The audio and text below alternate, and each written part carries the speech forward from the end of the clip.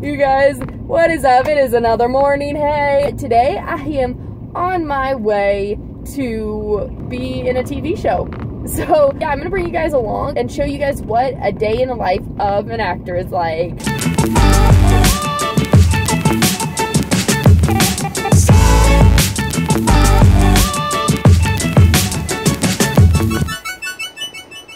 All right, so I just arrived to set. Today we are working on location at the Queen Mary in Long Beach, and I need to film my intro in here because I'm gonna have to be super low key about me filming today. Like, I definitely can't have my stick out. They, you know, really discourage filming on set. Actually, it's not even discouraged, it's like you're not allowed. Like, you cannot put out any information, like anything. Working on a TV show is super secretive and so I'm gonna try to do this low-key style. I can't tell you what show it is. It takes place in the 1930s and so we had to set our hair for a 30s hairstyle. We're gonna be in a party dancing the waltz and yeah, that's like sorry. I wish I can say more. This is so hard for me.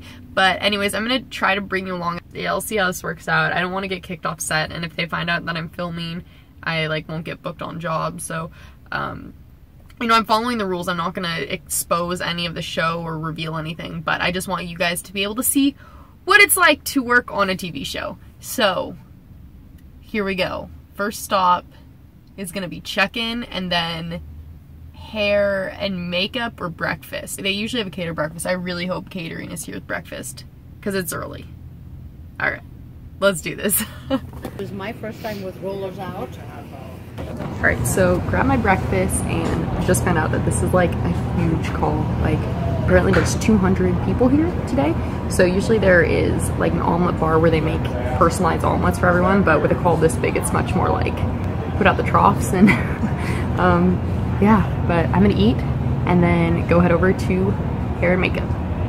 Chairs open. I already feel glamorous.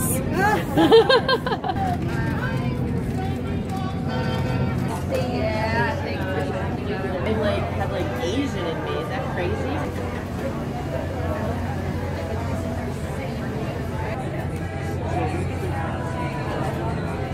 Much later.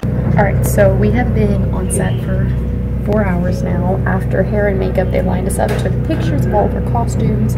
Now we are just waiting to start filming. We went, we saw the set. The set is so amazing. I really wish I could show you guys, but I can't. Um, but it's super amazing. And yeah, we're just waiting to get called on to set to actually act now.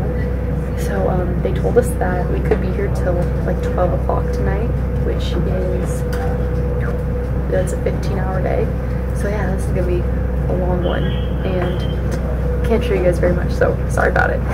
Later. All right, so after nine hours of being here, we finally got cut for lunch. This is the longest stretch that I've gone before getting cut for lunch. Usually it's at six hours.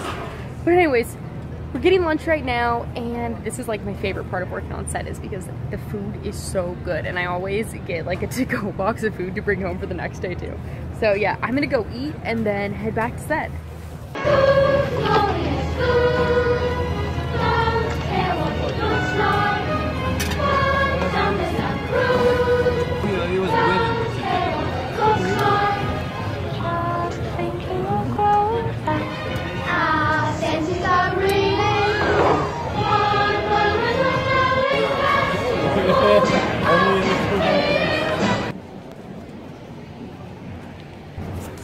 On TV sets, they have trailers like this all over the place, and these trailers are where people change or where all the makeup people are located.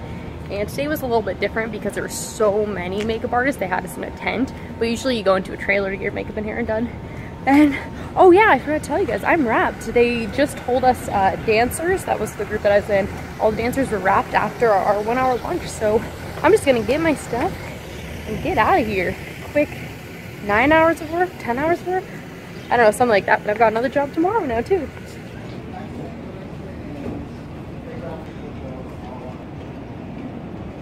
Hey guys, I just finished editing that bait that you watch now, and I realized I didn't really film as much as I should have.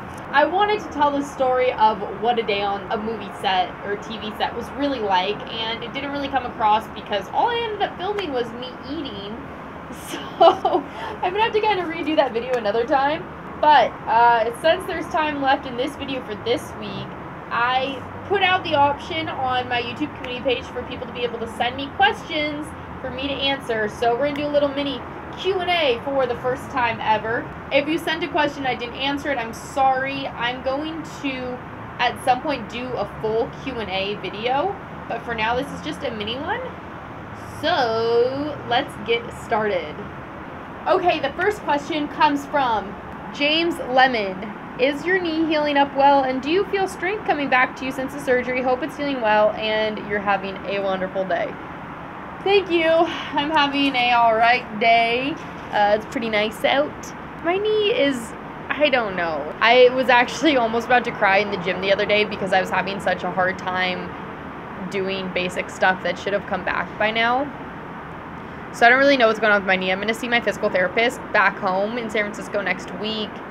See what they say, but I'm having trouble with my knee and um, I had on my Instagram story a while ago, so a lot of you guys might have missed it, but I fell really bad into the pool and when I did it, I like kind of messed up my knee and it set it back a little bit. And so I don't know if I actually did something serious when I fell into the pool or not, but hopefully I'll find out about that next week too. But yeah, strength is like basically the same that it's been for the last couple months and like I've been going to classes at the gym. I've been working out almost every day and it's just not happening. So it's very frustrating. I'm definitely planning on never blowing my knee out again because this is just awful. Next question from Mazanti. Mazanti. Mazanti. Do you recommend people to chase their dreams regarding snowboard ski? And if so, how should we go about making that dream a reality? Yes! Yes.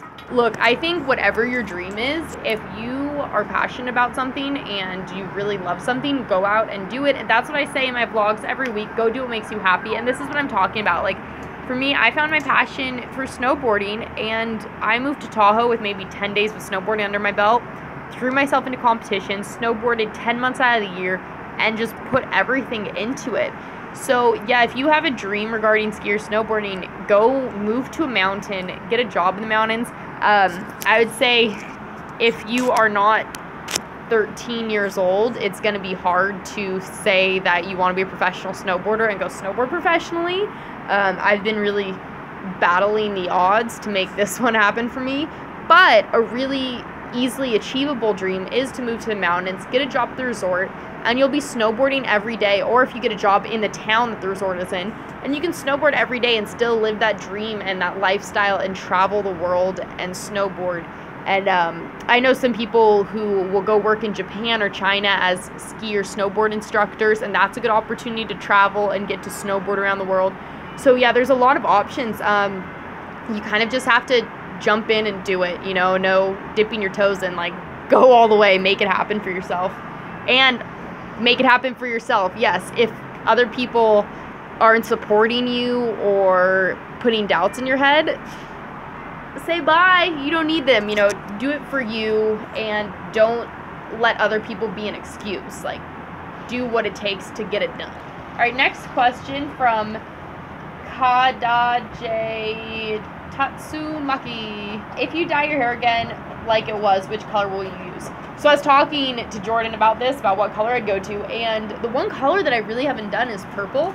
Before I dyed my hair for the first time, the one color that I wanted to do is purple, and then I never ended up doing it. So that is, I think, the color I'd go to, like a nice lilac-y purple.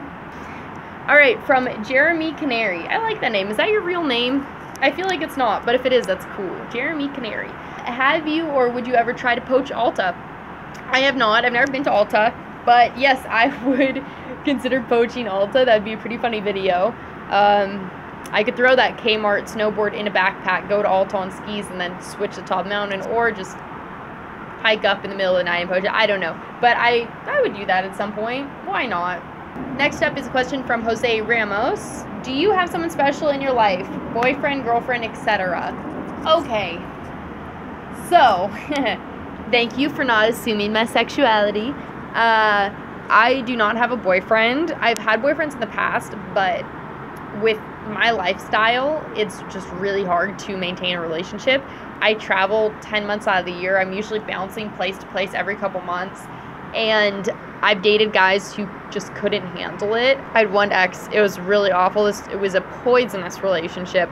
But one of the situations was while I was in Japan, he was calling me at like 2 in the morning and screaming at me because he saw a picture on my Facebook of me with guys. And it's like, yeah, I'm at a competition with guys that I snowboard with. Like, we all travel the world together and we know each other. Like, I'm sorry that I'm having a good time and I'm snowboarding. Like, I'm not cheating on you, but some guys just can't handle the idea that you're living with guys in another part of the world. And it, it was making me put my energy into places that it shouldn't have been. Like, my energy for me to succeed needs to be in snowboarding.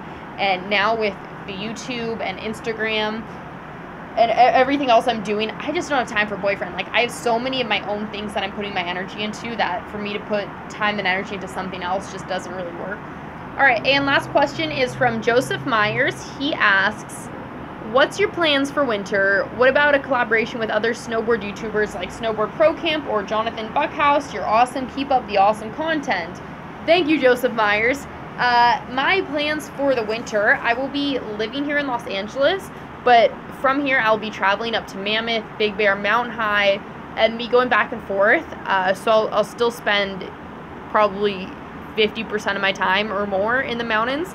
Um, and also, I am planning on collaborating with a couple different resorts to travel and bring you guys along to show you what different resorts across the U.S. are like or internationally if that opportunity arises. So I will be snowboarding. I would love to collaborate with other snowboard creators. Uh, I don't know Jonathan Buckhouse, but I know Matt Maniaci and David Jones. So, uh, you know, the the plan is going to be to try to get together with them at least, and whoever else I can get together with. So yeah, that is it for Q&A. My first Q&A, drop the mic. Oh, sorry, that was probably awful for the audio. Uh, yeah, thanks for watching, guys. Stay subscribed. I don't know why I said that. Uh, get subscribed if you're not. If you already are, I know you're staying with me. Um, next week I have some skate content coming back, so stay tuned and go do what makes you happy. Bye. Do what makes you happy. If other people think it's lame or they make fun of it, if it makes you happy, do it. follow whatever it is that makes your heart race and lights a fire in your soul.